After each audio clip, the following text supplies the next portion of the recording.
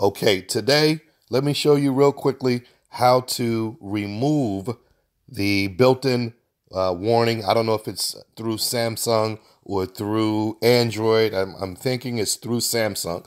Right here, I have the uh, Samsung Galaxy Note 8, and there is a warning that comes up when you are listening to music via headphones. It can be through the headphone jack or Bluetooth, doesn't matter.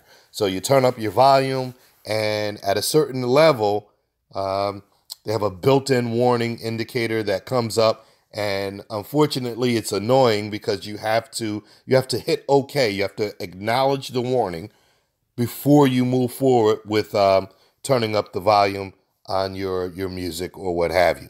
So let me show you how to remove that warning. First thing you want to do is go to settings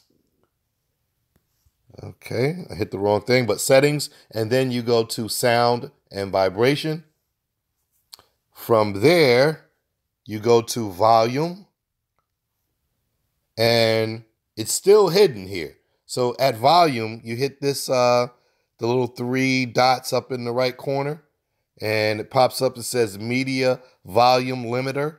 You hit that, and you want to turn it off.